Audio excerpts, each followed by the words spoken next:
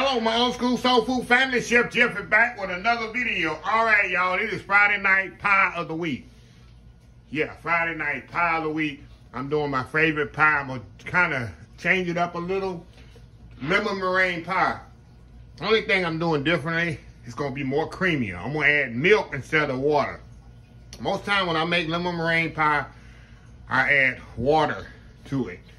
But tonight I'm doing milk. It's gonna give it more creamier texture and just just changes the whole complexion of the lemon meringue pie. So anyway, y'all, this is if you haven't heard the history of me, this is the first dessert I ever made growing up. At 12 years old, I used to make these at home and uh, sell them for the church. I used to sell them for five dollars a pie. Yeah, five dollars a pie. Growing up at 12 years old, making raising money for the church. That's how I, that's how I learned how to do so many methods, cooking on the double boiler, uh, tempering the eggs, things like that, making slurry, things like that. I learned that at, at an early age because uh, that's all these steps. Making meringue, getting to get the stiff peaks, adding the cream of tartar, adding the sugar slowly. All these techniques is in this pie, and there's a lot of techniques I learned from a young age of making one pie. So anyway, y'all, let's get started here. I got over here my pot here. We're gonna make this pot, make this, uh, what we're gonna do first. We'll do a little bit different than when I was growing up. I learned the easy way to do these things. I'm gonna mix my cornstarch and my sugar uh, together in the beginning. The fire's not on, y'all, yet. We'll mix this up in here. You can mix this together in a bowl too, but I say, why mess up another bowl? You can do it right here in the in the pot. Normally, when I growing up, I used to get a double boiler. Of course, double boilers are getting pretty much obsolete now because all the pots now are so thick bottom. You know, I grew up, we had them little cheap pots. Uh, my mom had, you know, what we could afford, and they were scorched very easily, so we had a double boiler I would use up. Because I don't use double boilers. Very nobody, very seldom use double boilers anymore, y'all. Like I say, we've come a long way in the in the in the quality of the pots and pans. Okay, now I got my cornstarch and sugar mixed together. Now all I'm gonna do is add my milk now. Get it all mixed up, then I'm gonna turn my fire on. Like I say, you'll only on this step, y'all. I would add water to this. I still don't have my fire on y'all yet. I want to get it all mixed up first before I turn my fire on. Okay, now, I got my fire on here. Well, we're going to let this come to a boil. And it's going to slightly thicken. And once it starts to thicken, we're going to come back. And I got some egg yolks here. See my egg yolks? I got separated, five egg yolks. And I saved the whites for the top, for the meringue. We're gonna add a little this, what's called tempering, what I told y'all. We're gonna add a little hot to the to the uh, egg yolks and get them to the same temperature as this, and then we'll throw them in there. If I throw the egg yolks in the hot liquid, it's gonna scramble the eggs right away, and I don't want that. So right now, I'm gonna step off, y'all. I'm gonna let this come to a boil. I'll come back when it's time to add the egg yolks to this. Be right back. All right, y'all, we are back. Okay, let me turn this down. You see how this starting to thicken? See that? See that thickening like that? That's what you want, y'all. Nice and smooth, creamy. See that? Nice. Now, what I'm gonna do, y'all, actually I'm gonna turn this down. I'm gonna turn it off because I definitely don't want it to cook while I'm doing what I'm about to do. I'm gonna take this out of here. Gonna turn it back on in just a second. Now, what I wanna do, I'm gonna take some of this hot liquid, y'all, and put in these eggs. Because I want these eggs to be the same temperature pretty much as the as the, make sure you get it good and mixed together, y'all. It's very important. Mix together very, very good. Because if I put those eggs yolks in there, Without doing this process, y'all, you're gonna have scrambled eggs. Okay. all mixed up together. Now what I'm gonna do, turn this back on. And we're gonna throw the eggs in there like this, y'all. See that? Gonna give it that nice, good color. Get the rest of it out of here. Alrighty. I'm gonna let this cook a little more. Let the eggs cook out there. See how pretty those are. I still haven't added my lemon juice to this yet.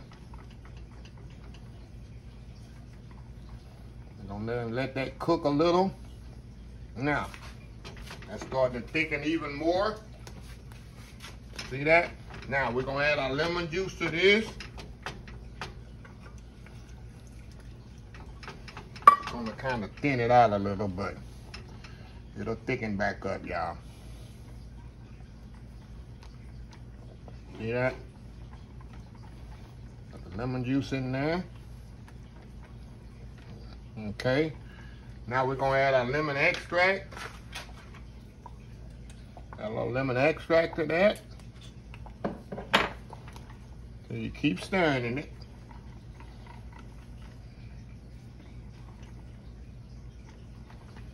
And I add our regular vanilla to this. Alrighty.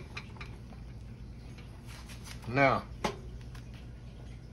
now, last thing I like to do, y'all, I like to mount it with a little butter to give it that little shine. That's just something, a little touch I've learned to do throughout the years. Give it that extra richness.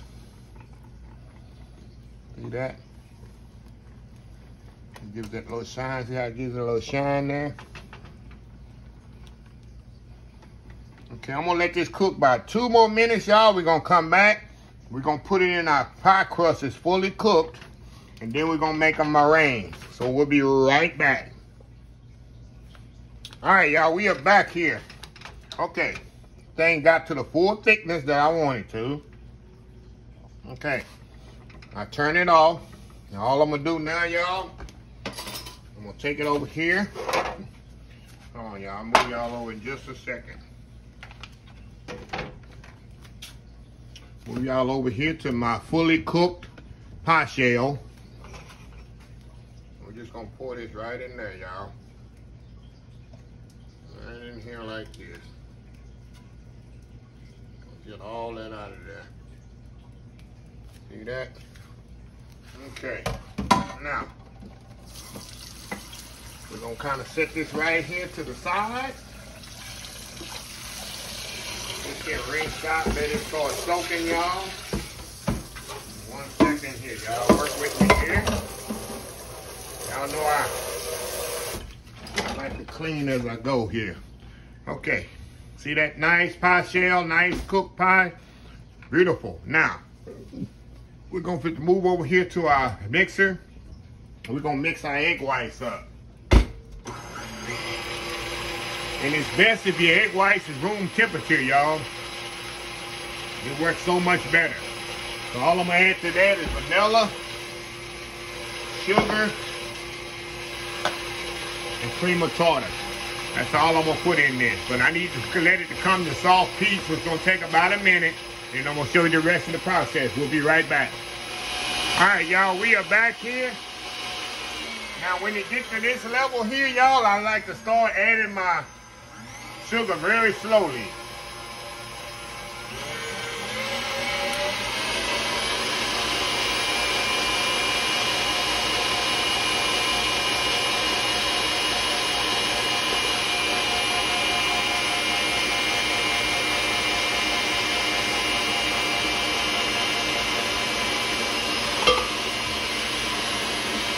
I add vanilla. A little vanilla to this.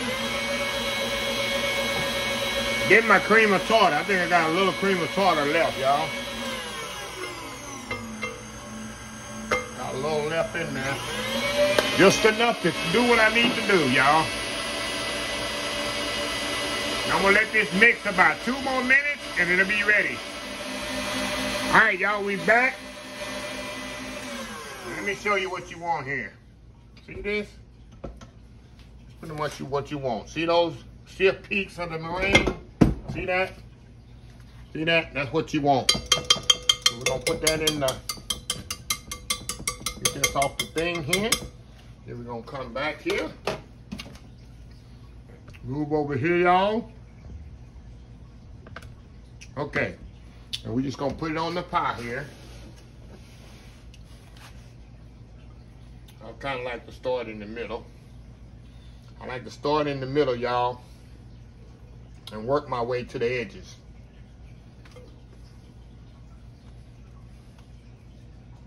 Start in the middle. We're gonna work our way to the edges, y'all. One second, let's get it all in here. Get it all in there first, and then we'll work our way. My mama, she loves meringue pie, but she don't like to. I'm gonna tell you what she called it. She called it calf slobber. That's what she called it. You see, yeah, baby, I don't want none of that calf slobber on my pie. All right, mama.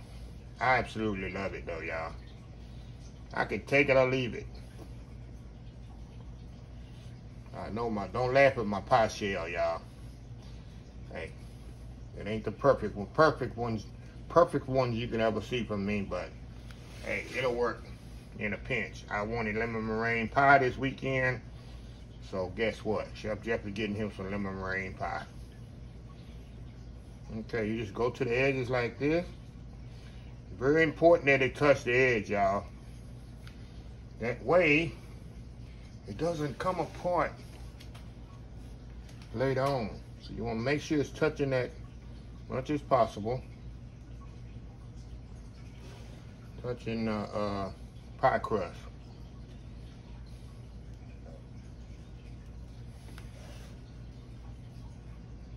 Go. And once we get it all to the edge, we'll come back and make it nice, nice as we can. But the first thing, we want to make sure it's sealed to the edges, y'all. There we go. Now, all we do, y'all, on just a second. Where's my bowl at? I can kind of do what I want to do here. You just kind of, you know, do the peaks like that. I know y'all seen this before. Just do that and get your little, your little peaks. See that? That's how you get your little peak peak thingies. There's no science and how many peaks you're supposed to have on there how long they're supposed to be and all that. Just do them like you want to do. Good thing to do for your kids. Get your kids help.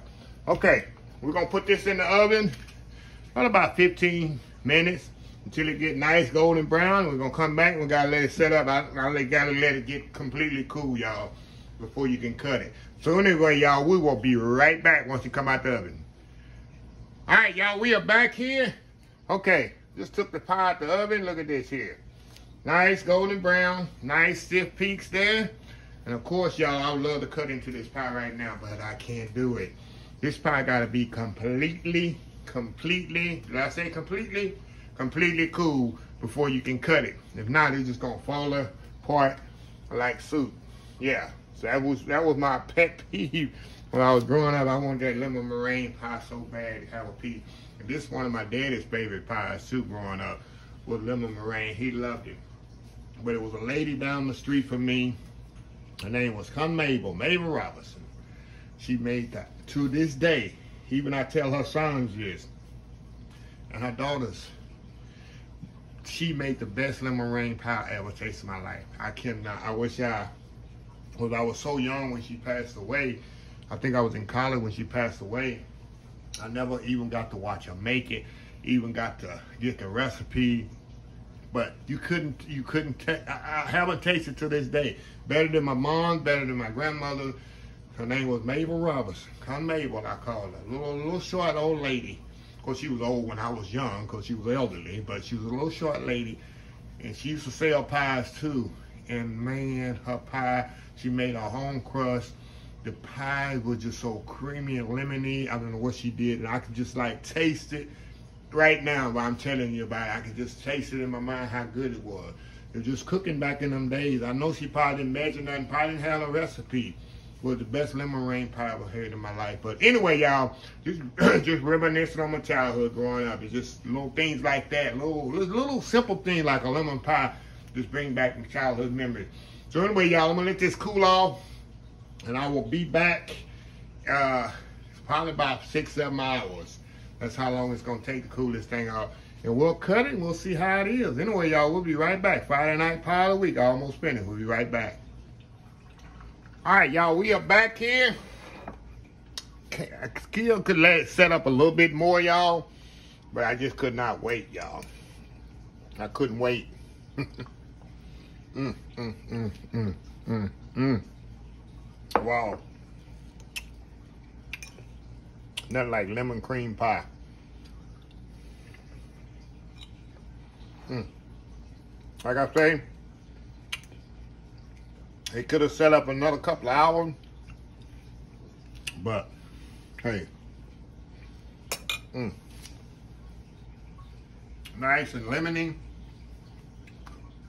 And you also can put lemon zest in it if you want to.